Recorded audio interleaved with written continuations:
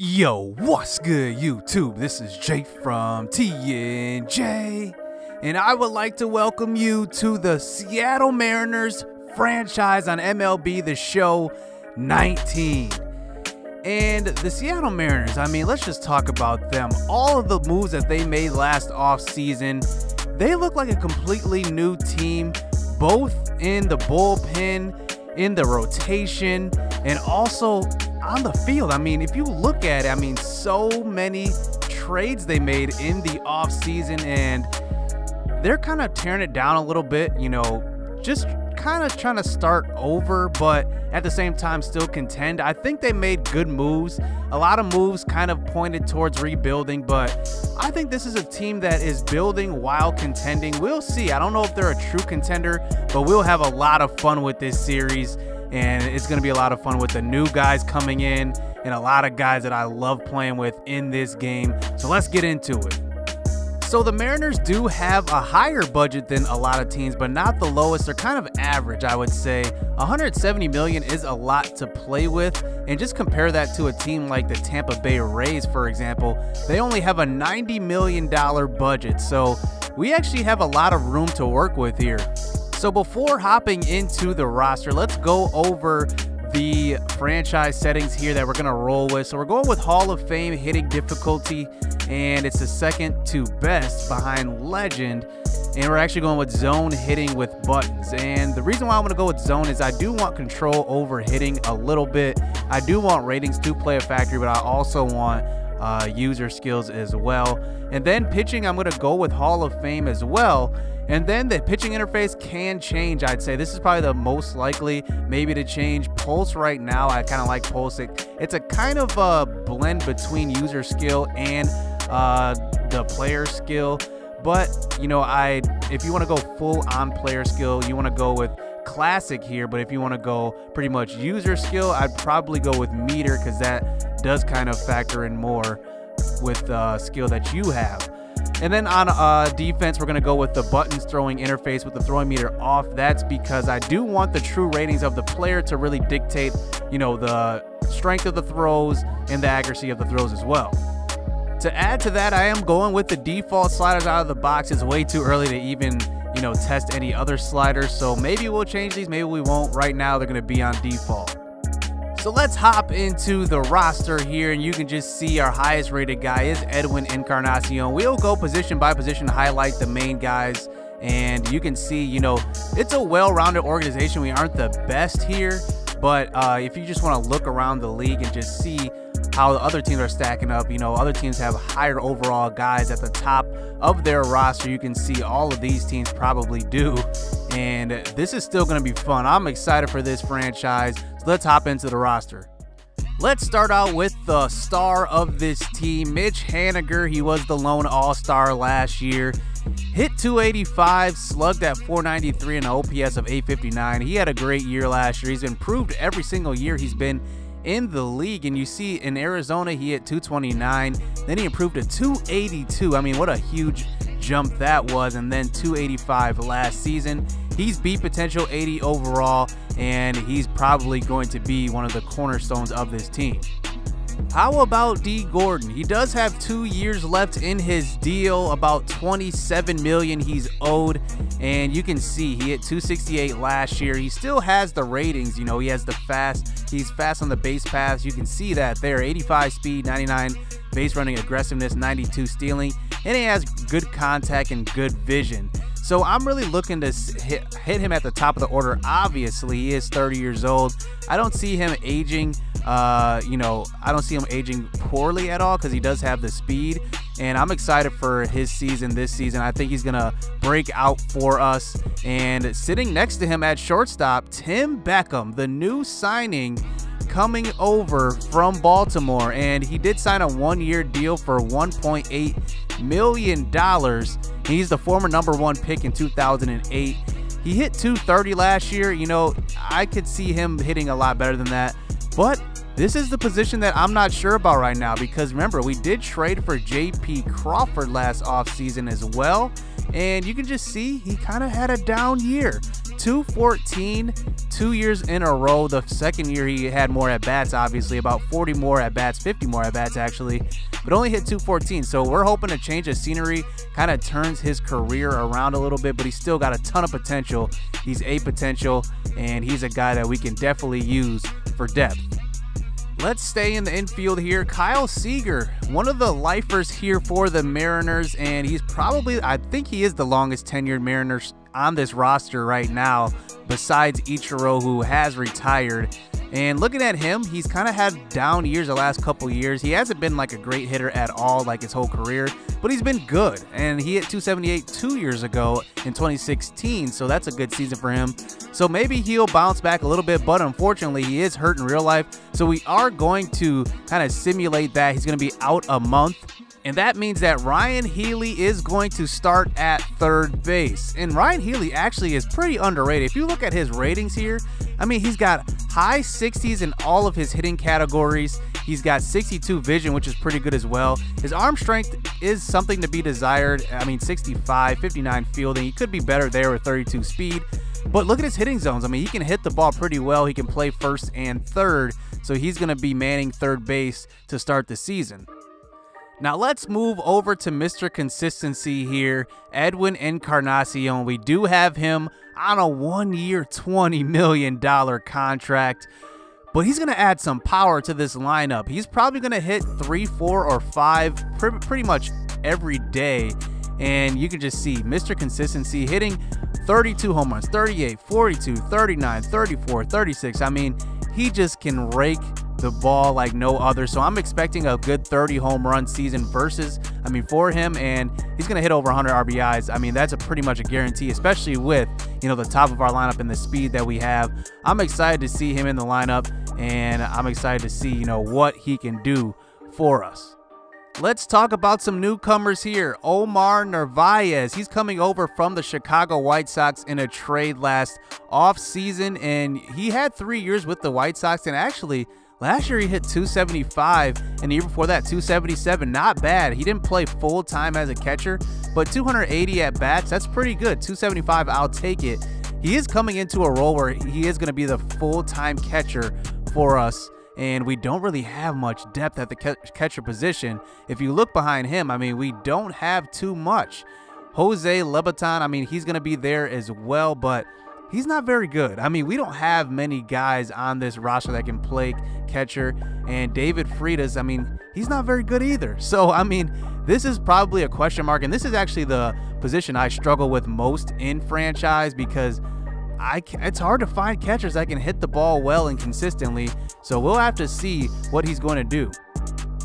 Now, you guys know my history with Domingo Santana. I played with the Brewers in my first MLB franchise, played with the Marlins, traded for him, and he raked like no other. And now he's with the Mariners. What are the chances of that? And you know, I just love playing with Domingo Santana. It's so easy to hit the ball with him. You see his hitting zones are all good. He has good uh, ratings there and his stats aren't bad at all. I mean, he's been a decent MLB player, and I think he's finally going to get his second full season as the full-time starter. Two years ago, he did play with Milwaukee and started pretty much the whole season, hit 278, which is pretty good uh, for a first full season there. But last year, he took a dip, and pretty much a lot of people cut into his playing time because we had a lot of depth in Milwaukee. But the thing is, I'm excited to see him come over. He's 80 overall, still beat potential, and only 26 years old. And he's got a lot of power to him. I could honestly see a 30 home run season from him this year with the Mariners. I would say the highest ceiling on our team is Mallex Smith at center field, coming over from Tampa Bay. And man, this guy, he's going to be good. He's got 92 speed. He's only 25 years old. And you can just see the only thing he can't do really, he doesn't have great arm strength. He doesn't have great power, but everything else he's solid in. And I think that he's going to be a really good center fielder for the Mariners. He's going to be at the top of the lineup for sure with Dee Gordon. It's going to be a challenge a little bit playing with two lefties at the top of our lineup, but we'll make it work. I mean, having that speed, I can definitely see both of those guys scoring Another new acquisition here, Jay Bruce. So we do have him signed two years, $26 million left on his contract. You know, the one thing that I'm going to have to, you know, be cognizant with him is that, you know, I don't think I can play him every day. I think his best days might be behind him, but he is coming over for a fresh start from the Mets. And he's got the power versus righty. Don't get me wrong. He's a good outfielder as far as depth goes, but I'm not sure, you know, I can really keep him out there. He's 25 speed, doesn't have the best arm strength, not the best fielder. So we'll have to see. You know, he's going to hit mostly versus righties, that's for sure. And we'll see what we can do with him. Moving on to the rotation, Marco Gonzales is going to get the ball on the hump to start out this season. And you see, he had a decent season last year 13 and 9, 122 whip. He had a 4 ERA. But I actually like him. He's a lefty, and we actually have an advantage here, you know, with a lefty as our number one here.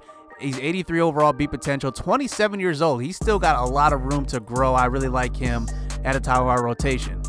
Then we move on to the 31 year old Mike Leake. And looking at his year last year, he went 10 and 10, 130 whip and a 436 ERA, 119 strikeouts to 34 walks. And I actually like this guy. I mean, he's a decent guy for 31 years old. He's a, a middle of the rotation guy. He's going to be our probably our number two or three. I don't know exactly where, mainly because we have a newcomer in our rotation. Yusei Kikuchi. He's coming over from Tokyo, Japan. And here's the thing, man. This guy, he's going to be good. He is 27 years old, a little older than what you would want. But man, he's going to be good. You see his uh, attributes here. He's got an 80 strikeouts per nine, 87 velocity. His fastball can get up to 97. So this is going to be fun to play with. Another lefty. And that's why I said it's more of an advantage in our rotation. We have two lefties, two good ones, Marco Gonzales and Yusei Kikuchi. So this is going to be fun. And then rounding out the rotation, we have Wade LeBlanc, who's going to be 34 years old. And I don't really know exactly if we're going to keep this guy around another lefty. That's the thing. It's another lefty in the rotation, and I might want to unload him. We'll have to see. And I think he's got, you know, some left in the tank, and I think he can help another team. So depending on how this season goes, we'll keep him in the rotation. And then to round it out, you know, sadly, once King Felix, I think he is st still King Felix, but Felix Hernandez has definitely dipped the last three years. You can just see his numbers here. He went from 382 ERA to 436 to 555. Even the whip, the whip was actually not bad in 2017, 129. Not the greatest, but not uh, horrible at any measure. But then last year, he just took a pretty big dip 140 whip. And I mean, just it, it just wasn't the same. He's not the same guy he once was but he is owed 27 million. So unloading that contract will be impossible and I don't think anybody would want him at age 32 anyway. And that huge contract, it's just it's just pretty hard to unload. Relief pitching. This is our bullpen. It's not a solid bullpen, but it's a good bullpen. I would say Anthony Swarzak, the acquisition of him, and also Hunter Strickland. It's going to be really good for us for sure. Those two guys are going to be dominant for us in the bullpen. Those are our sure things to stick around and I think that, you know, these two guys are going to be the leaders in the bullpen. After that, Cory Gearrin is going to be probably the second man, probably a middle reliever. I don't think he's not a long reliever at all. He's had five years of experience, and you can see last year 134 whip. Sam Tuivailala is going to be an interesting acquisition here, and he did get hurt last season to an Achilles injury, and I think that he's still got a lot of potential on him. He's 26 years old, and he's got a, uh, you know, he's not in his contract years at all. He's still, you know, on a rookie, pretty much a rookie contract. And you see his hits per 962, home runs per 975. I think that he's going to be a serviceable, serviceable guy in our bullpen. 89 velocity as well. He's got a fastball that can get up to 96. I actually like this uh, kind of presentation that MLB The Show 19 has put out here. You see the pitch repertoire there. and you can see the speeds that it gets up to. So looking at the rest of our guys, I wouldn't say anybody's worth noting to point out, but we do have, you know, just some guys here that are getting close to age 30 that can potentially contribute to the MLB squad, and we'll see how all of them do contribute.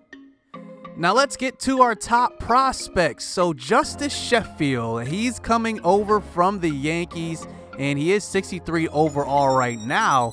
But you can just see, man, he's got a live fastball. He's gonna clock it up to 96 miles an hour, and he's got a good two-seamer as well, slider and a changeup. I would like to see him develop actually in Double A or Triple A. He is going to play in the spring in spring training with us, but I do want him to develop for a couple, maybe a year or so. I don't think he's ready just yet to make it up to the majors. We'll see. If he ends up just shooting up and overall, I, I might have to consider it, but you know, we do have some good guys in front of him, so there's no rush. Now let's talk about another A potential prospect, Jarred Kelenic. He is a center fielder who can run, and he does hit lefty. We have a ton of lefties in this organization. It actually kind of intrigues me quite a bit. And you can see he's a developing hitter. You know, nothing is too bad right now. He's only 58 overall. That means he just has a couple of years to develop. He's definitely going to be in double A probably for the next two years, but definitely look out for him in the future. He's got decent arm strength right now for a 58 overall guy, and he's only 19. I mean, just keep your eye on this guy, Jarred Kelenic.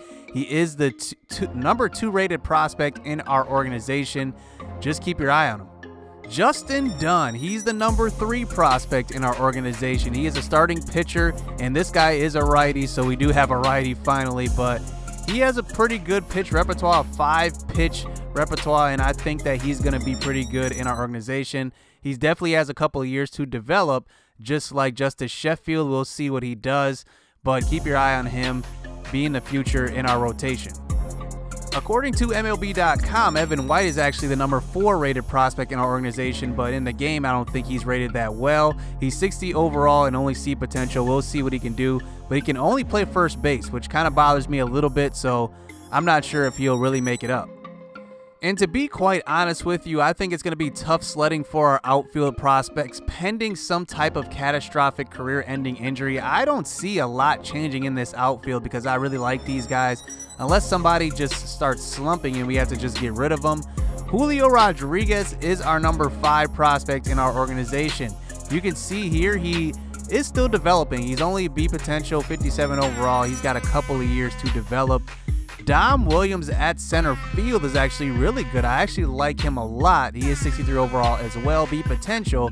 And another lefty. I mean, we have so many lefties in our organization, and he is 23 years old, a little bit behind uh, some guys like Julio Rodriguez, but we'll have to see.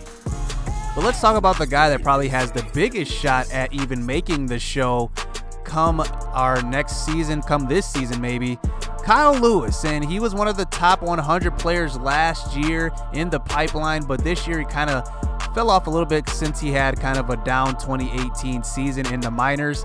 And you can just see he's decent. I mean, he's a decent overall 70 and he's well rounded and that's one thing i like about him. He's got size 6'4 he's 23 years old 210 pounds and you know i want to treat take this a little slow because you know i kind of have the same situation and the same type of player actually in lewis brinson last season and let's just look at the marlins roster and look at Lewis Brinson. He is down to 62 overall and he's 24 years old.